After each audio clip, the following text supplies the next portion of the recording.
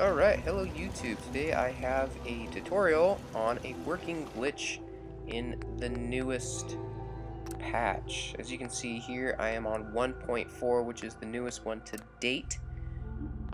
And uh, this is going to be working for unlimited food, which you can sell for unlimited caps, which by making food you get unlimited XP. And I am playing on the PS4.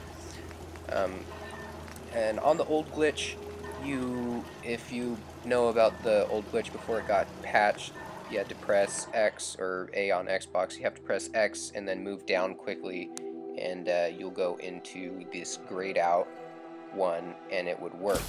Now this is no longer working. It was patched, but you can still do the same thing by pressing right and then down or up, depending on which one is uh, grayed out you want to make. As you can see on here, I'll go into roast here and I'll do Deathclaw Steak, which is pretty valuable at 130. And this doesn't use any kind of resources as long as the one that you're grayed out on is grayed out, so you don't use any resources on it.